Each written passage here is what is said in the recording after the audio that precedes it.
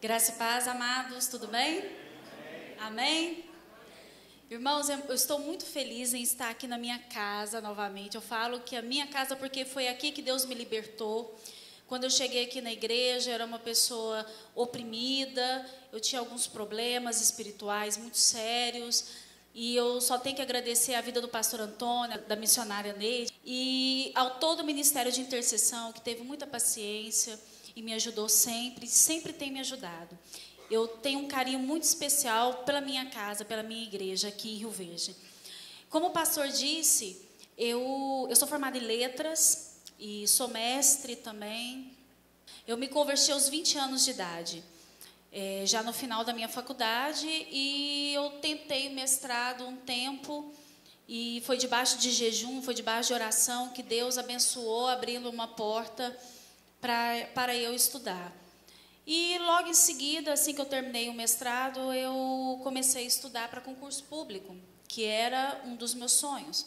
Quando eu me converti numa outra igreja, eu sempre ouvia um pastor falando: o seu Deus, o nosso Deus, é o Deus que realiza o desejo do coração. E nós temos que ter sonhos, e temos que sonhar alto, porque o nosso Deus, ele realiza desde que seja para honra e glória dele. Deus ele nos abençoa, mas ele quer com que nós sejamos testemunho para quem for. Porque existem pessoas que precisam e que estão passando pelo mesmo processo que nós passamos.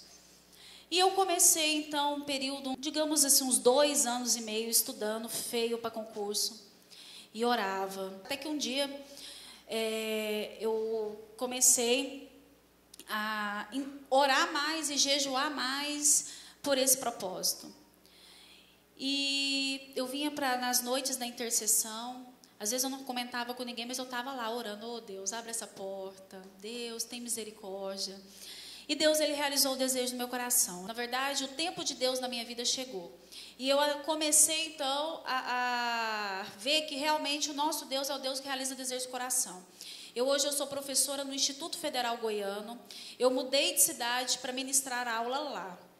É, por quê? Porque o último concurso que teve eram duas vagas, uma para posse na minha área e outra para a cidade de Campos Belos. Eu achei melhor ir para lá. A cidade, ela é uma cidade que tem 30 mil habitantes e Deus ele tem um propósito por enquanto na minha vida lá. Assim que eu cheguei, a primeira coisa que eu fiz foi procurar uma igreja batista lá. E na, na ida para o meu caminho, eu encontrei a primeira igreja batista. Eu fui lá, assisti um culto, conversei com o pastor e logo assim, de cara, eu conversei com o pastor, com a esposa dele, eles me acolheram muito bem, fui muito bem recebida. A cidade, eu vou confessar para vocês, a cidade é bem diferente daqui. É, como eu falei, tem 30 mil habitantes. Mas tem um povo muito amável, um povo muito carinhoso. Mas eu tenho levado muito essa igreja no meu coração, porque foi aqui que Deus me libertou, foi aqui que Deus me prosperou. E uma coisa eu quero dizer para os irmãos: o dízimo, gente, a importância de dizimar. Eu tinha mês que eu passava, gente, aquele aperto. Eu falava assim: meu Deus, como que eu vou pôr gasolina no meu carro? Meu Deus, como que eu vou comprar tal coisa que eu preciso?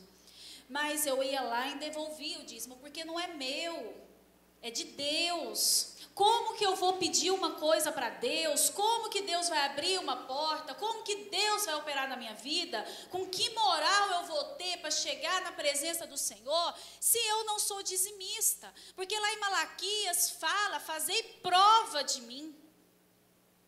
Fazei prova.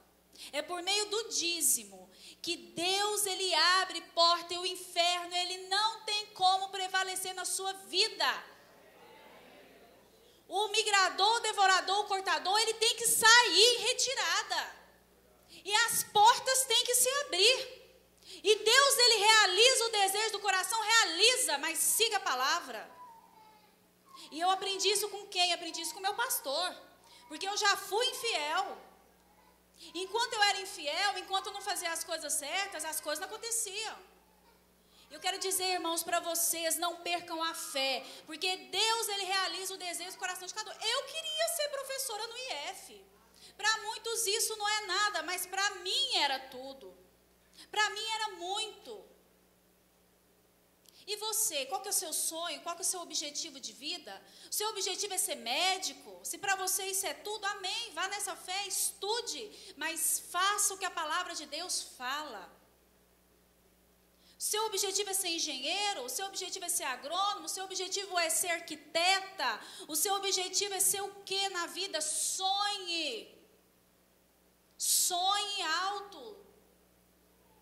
Deus ele está aqui para realizar os desejos do nosso coração, mas nós temos que ser fiéis.